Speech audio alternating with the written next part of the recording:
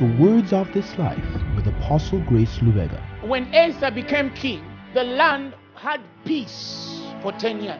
That's the testimony of a man who seeks God. You have rest on your side. You have prosperity in your life. You can't seek God and be broke. That means that they will not attack you. No, no, no. If they attack, there's a way God will tranquilize them to a place where they will not have effect or consequence on your life. That is the portion that God has given you. There is peace in my house. There is peace in my borders. There is peace everywhere that I am. So when he says that the eyes of the Lord run to and fro throughout the whole earth to show himself strong in the behalf of them whose heart is perfect toward him. This is the heart perfect toward God. You trust in Him under all situation and lean not on anything that looks like it can bail you out.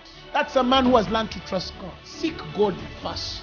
Be careful who you seek help from. Chances are that some of the people and things that you look to start to become mightier than you when you don't know how to look to the Lord in time of trouble. God tells Asa that because you relied on the host of Syria to defeat Israel instead of relying on God, now the power that you had over Syria has ended it will always be above. The Assyrian is a spirit. It confuses men to divert away from purpose in time of victory. At the point where victory is somewhere and success is there, prosperity is there, you get your eyes off God and now start looking to the things that you think give you prosperity or the things that have given you fame. You began with God. You get frustrated, but because you know everybody in town, it's easier for you to call that person to bail you out of a problem because you're connected. But who connected you? Where were they before God connected to you? Where were they? Yet that God was with you.